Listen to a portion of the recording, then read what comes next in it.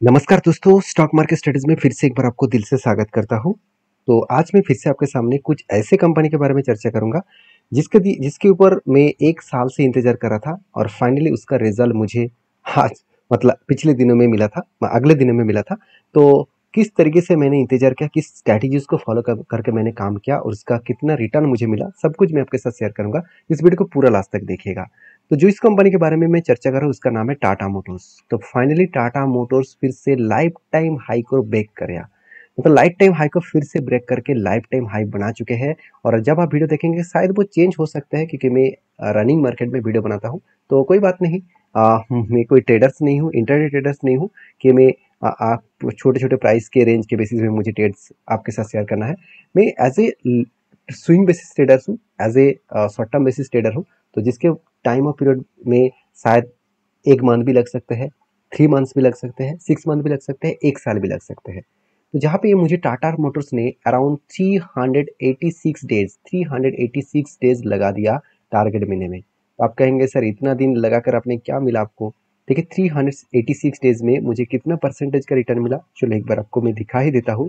जो मुझे परसेंटेज मिला वो है 89 परसेंट ऑलमोस्ट 90 परसेंट तो इसमें एक साल में 90 परसेंट का रिटर्न मिला। क्या कोई खराबी रिटर्न है? मेरे हिसाब से तो बिल्कुल नहीं है। आपके हिसाब से है तो ज़रूर कमेंट करिए। अगर मैं, आप मेरा पुराना सब्सक्राइबर तो आपको पता है, जब मैंने एंट्री लिया था, तब प्राइस था अराउंड सिक्स हंड्रेड रुपीज़ और जब एंट्री लिया था, तब दिन कौन सा था? Seventh of July seventh of July तो twenty twenty three seventh of July से लेकर आज जुलाई मंथ खत्म होने से पहले ही कंपनी ने सारे रिकॉर्ड तोड़कर फाइनली टारगेट को अचीव किया।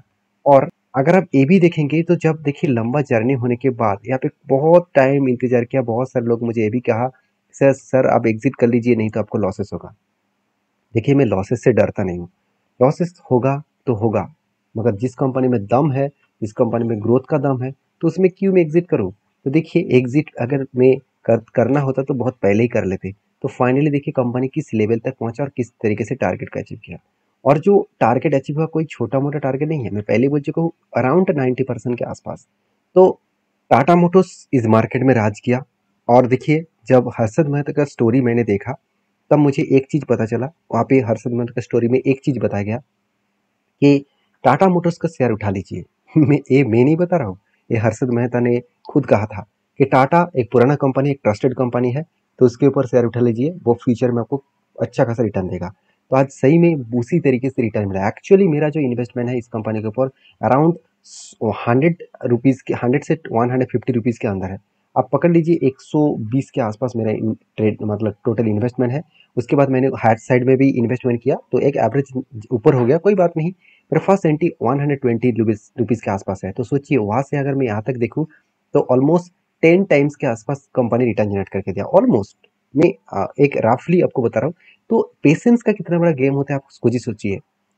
2020 में मैंने इन्वेस्ट किया और आज 2024 चल रहा है। अराउंड फोर फोर ईयर्स में कंपनी टेन टाइम्स का रिटर्न दिया।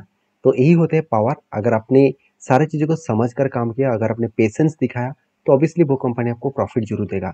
और मैंने टाटा मोटर्स के ऊपर इसीलिए पॉजिटिव व्यू रखा, क्योंकि टाटा मोटर्स का देखिए कमर्शियल व्हीकल्स में थर्टी फाइव परसेंट का मार्केट शेयर है। इलेक्ट्रिक बसेस के ऊपर ट्वेंटी परसेंट मार्केट शेयर है, इलेक्ट्रिक व्हीकल्स के ऊपर sixty eight percent market share है, और वो भी फोर व्हीलर्स के ऊपर, और forty nine percent light commercial vehicles के ऊपर मार्केट शेयर है, साथ ही साथ पैसेंजर व्हीकल्स के ऊपर thirteen point seven zero percent के आसपास मार्केट शेयर है, और मीट, जो मीडियम हैवी जो कमर्शियल व्हीकल्स है उसके ऊपर fifty eight percent market share है। तो जहाँ पे कंपनी एक राज कर रहा है, जैसे राज कर रहा है ऑब्वियसली राज कर रहा है, मैं यही कहूँगा क्योंकि इसका डायरेक्टली जो कंप्यूटर है, वो है अशोक लेलन तो अशोक लेलन ओलेक्टर गिनटेक ये डायरेक्टली इसका कंप्यूटर है, जो कंप्यूटर उतना ज़्यादा खास ग्रोथ नहीं कर रहा है। क्योंकि ऑब्वियसली ओलेक्टर गिन तो ग्रोथ कर रहा है, मगर अशोक लेलन की एक दिक्कत है। इस अशोक लेलन का जो डेप्थ ऑफ़ इक्विटी है, वो चार परसेंट से भी ज़्यादा है। टाटा मोटर्स का भी था, आज टाटा मोटर्स का डेप कितना है?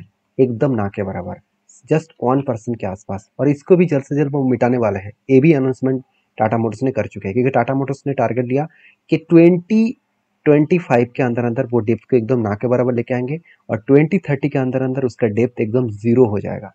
तो उस, देखिए टाटा मोटर्स ने जब मतलब टाटा ग्रुप ने जब भी कोई कमेंट्समेंट किया, उसको फुलफिल हमेशा करता है। तो मैं इस कंपनी के ऊपर इतने दिनों से इंतज़ार करने के बाद फाइनली टारगेट को बुक किया और ऑब्वियसली इस कंपनी के ऊपर में कोई फ्रेश कोई एंट्री बने तो उसके ऊपर ज़रूर सोचूँगा, क्योंकि फ़िलहाल के लिए मेरा कोई एंट्री नहीं रहेगा, क्योंकि इतना लंबा जर्नी होने के बाद कभी ना कभी तो रुकेगा। हाँ यहाँ पे कोई रेंज अगर ट्वेंटी परसेंट के ऊपर बने, फिर से कोई ग्रीन कैंडल बने और वो भी ट्वेंटी परसेंट के ऊपर, तब कोई छोटा मोटा ट्रेड में लेने के लिए ज़रूर तैयार रहूँगा। क्योंकि हाई लेवल में मैं ज़्यादा क्वांटिटी ट्रेड नहीं करता हूँ, क्योंकि वहाँ पे कोई भी गारंटी नहीं तो नहीं होता है कि वो ऊपर जाएगा कि नीचे आएगा, कि कितने दिन होल्ड करेगा। तो इसलिए मैं एक बार उस जगह पे थोड़ा सा होल्ड करता हूँ, थोड़ा सा छोटे क्वांटिटी के साथ काम करता हूँ। तो आपकी क्या राय है? आपने किस जगह पे एंट्री किया था? आपका आप आप किस तरीके से टाटा मोटर्स को देखते हैं? ज़रूर मुझे कमेंट्स करके बताना। नेक्स्ट जो कंपनी उसका नाम है clean science and technologies basically clean science and technology के ऊपर मुझे एक दोस्तों ने कमेंट किया था कि, सर आप क्लीन साइंस टेक्नोलॉजी के ऊपर आपने जो डिसीज़न लिया पॉजिटिवली वो आपको बुरी तरीके से फंसाएँगे। देखिए, मैंने ये भी बताया था कि बड़े बड़े दिग्गज एनालिसिस ने ये कहा कि 2025 के बाद जो केमिकल सेक्टर का जो डिमांड है, वो बढ़ने वाला है। क्योंकि केमिकल सेक्टर का जो डिमांड है, मुझे अभी लग रहा है तो अभी से बढ़ना स्टार्ट हो चुके हैं। क्योंकि आप खुद ही देख लीजिए, जो कंटिन्यूसली कंपनी का सेल्स बढ़ रहे, बढ़ता हुआ देखने को मिला था लास्ट वन ईयर्स में सेल्स घटते चले गए। अभी फाइनली उसको रिकवर भी किया और पिछले सालों की तुलना से कंपनी का सेल्स ऑलमोस्ट अच्छा खासा देखने को मिले। और ऑलमोस्ट पॉजिटिव है। एक्सपेंस मिटाने के बाद नेट प्रॉफिट वो भी देखेंगे तो 80 करोड़ से 70 बने। तो आप कहेंगे, सर लॉसेस कंपनी का तो प्रॉफिट डाउन हो गया। लास्ट थ्री क्वार्टर्स को चेकआउट करेंगे तो कंपनी के इस बार हाईएस्ट प्रॉफिट जनरेट हुआ। तो यही कारण की वजह से मैं इस कंपनी के ऊपर पॉजिटिव था, और जब मुझे इस कंपनी के ऊपर एक ट्रेड मिला, उसके ऊपर मैंने पॉजिटिव डिसीज़न भी लिया, क्योंकि बहुत दिनों के इंतज़ार करने के बाद एक शोल्डर एक बिग हेड उसके बाद शोल्डर बने, और फाइनली देखिए, यहाँ पे ब्रेकआउट हुआ और ब्रेकआउट कन्फर्मेशन भी हुआ, और उसके बाद देखिए कंपनी धीरे धीरे करके ऊपर जा रहा है। तो ऊपर जाएगा तो कहाँ तक मैं इंतज़ार कर सकता हूँ? देखिए कहाँ तक मतलब मेरा जो टारगेट है वो छोटा सा टारगेट है सेवनटीन हंड्रेड ट्वेल्व रुपीज़ के आसपास जो मेरा टोटल कप का जो साइज़ है इसी कप के साइज़ के बेसिस में यहाँ पे टारगेट देखने को मिला है। तो प्लीज़ इस टारगेट को मैं आपको नहीं दे रहा हूँ। ये मेरा खुद का आ, मतलब स्ट्रैटेजीज है। इस स्ट्रैटेजीज को मैं सिर्फ़ आपके साथ शेयर कर रहा हूँ आपको सीखने के लिए क्योंकि आप इस स्ट्रैटेजीज को सीखिए। सीखने के बाद एटलीस्ट टेन दस साल पीछे चले जाकर आप बैक टेस्टिंग करके देखिए। अगर बैक टेस्टिंग करने के बाद इस स्ट्रैटेजीज में आप, अगर आपको दम लगे तो ही काम करना। क्योंकि देखिए, किसी को ब्लाइंडली फॉलो मत करना, मुझे भी ब्लाइंडली कभी भी फॉलो मत करना, क्योंकि आपको ट्रस्ट बिल्ड तब होगा जब आप खुद रिसर्च करेंगे, खुद एनालिसिस करके देखेंगे, उसके बाद ट्रस्ट होना चाहिए। देखिए, मैं आज तक किसी से एक रुपया भी चार्जेस नहीं लिया इस सारे चीज़ों को सिखाने के लिए, और मेरा कोई कोई कोर्स भी नहीं है, कोई पैकेज भी नहीं है, कुछ भी नहीं है। हाँ एक टेलीग्राम चैनल है, यहाँ पे मैं प्रॉफिट होने के बाद शॉट शेयर करता हूँ, क्योंकि आपको प्रीवियस डेटा सीखने को मौका मिले। ऐसे नहीं कि जब एंट्री हो रहा है तब मैं स्क्रीन शेयर करूँ। यहाँ पे मुझे बहुत सारे दोस्त ये भी कमेंट्स क्या कमेंट्स में आकर कि सर आप जब एंटी बनेगा तब शेयर करिएगा। देखिए ये सेबी के रूल्स के खिलाफ है। मैं ऐसे नहीं कर पाऊँगा। इसके लिए क्षमा चाहता हूँ। अगर आप आपको मैं आ, इस तरीके से चीज़ नहीं दे सकता। तो नेक्स्ट जो कंपनी है उसके बारे में चर्चा करूँ। उसका नाम है Mahanagar Telecom Limited Telecom Nigam Limited. देखिए, बहुत सारे लोग उछल रहे थे कि एम टेन लगातार आपस सर्किट आपस सर्किट लगातार ऊपर चले जा रहे हैं। तो मैं आपको पहले भी बोल चुका हूँ कि ऑपरेटर पूरा का पूरा गेम खेल रहा है। ऑपरेटर ऑपरेटर इसको पूरा का पूरा गेम इसलिए खेल रहा है क्योंकि बी एस एन एल का अभी मतलब ट्रेंड चल रहा है कि बी एस एन एल को लोग मतलब बी एस एन एल का सिम यूज़ करो बी एस एन एल का टेलीकॉम यूज़ करो। तो एक ट्रेंड चल रहा है। तो बहुत सारे लोग बी एस एन एल में पोर्ट भी किया है, बहुत सारे लोग बी एस एन एल का नया सिम खरीदारी किया है। और बहुत सारे एयरटेल जियो और वोडाफोन का कस्टमर भी कम हुआ है। तो मुझे नहीं लगता कि बीएसएनएल इतना भी स्ट्रांग हो गया कि बीएसएनएल के ऊपर मैं सिम लेकर घूमता रहूँ। हाँ एक ऐसा, एक ज़रूर कहूँगा कि एयरटेल जियो और वोडा ने चार्जेस बढ़ा दिया। और उसका, देखिए, सेवाएँ जो है, अगर हर जगह पे जाएँगे तो ज़्यादा, मैं जहाँ पे रहता हूँ, वहाँ पे तो मुझे हर जगह पे टावर्स मिल ही जाते हैं मतलब नेटवर्क्स मिल ही जाते हैं। मगर BSNL का हर जगह पे नेटवर्क्स नहीं मिलता है। हाँ आप सिटी में रहते हैं टाउन्स में रहते हैं मेट्रो सिटी में रहते हैं तो वो अलग बात है। आप गाँव में चले जाएँगे तो वहाँ पर आपको नेटवर्क नहीं मिलेगा, हर जगह पर नहीं मिलेगा। तो उसको लेने से क्या फ़ायदा? आपको मान लेता हूँ सस्ते दामों में आपको सिम मिल जाएगा तो आपको उसको लेने से क्या फ़ायदा होगा? जहाँ पे आपको नेटवर्क ही नहीं मिलेगा, आप किसी को बातचीत करना चाहते हैं तो उस टाइम नेटवर्क ही नहीं है। अगर नेटवर्क है भी तो फ़ोन आप फ़ोन का कट कट आउट हो जाएगा। तो चीज़ों को पहले समझिए। तो इसीलिए BSNL का इतना बड़ा ट्रेंडिंग आने के कारण सबसे ज़्यादा फ़ायदा किसको देखने को मिला? MGL को। सॉरी मतलब MTNL को। मतलब महानगर टेलीकॉम लिमिटेड, क्योंकि यही बीएसएनएल का पूरा का पूरा हंड्रेड परसेंट स्टेक मतलब एम का हंड्रेड परसेंट स्टेक बी के पास है। तो लोग यही सोच रहे थे कि बीएसएनएल के ऊपर इतने बड़े अपडेट आया तो एम तो भागेगा ही। ऑब्वियसली भागा, और वो भी किसके ऊपर? फोमो बाइंग के हिसाब से। देखिए रॉकेट की तरफ़ भागा।